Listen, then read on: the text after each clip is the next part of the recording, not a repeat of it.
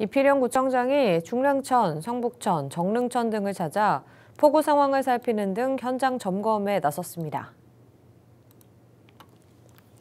이 구청장은 비상 상황에 대비하기 위해 8일 오전 7시부터 9일 오전 7시까지 24시간 동안 재난안전대책본부, 동주민센터, 펌프장, 현장 기동반 등 110명의 근무자를 두고 빗물 펌프장 33개소를 가동했습니다.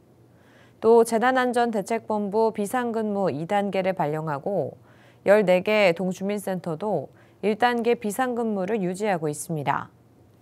이번 비로 중랑천, 정릉천, 성북천 둔치가 침수됐지만 침수 피해나 인명 피해는 없었습니다.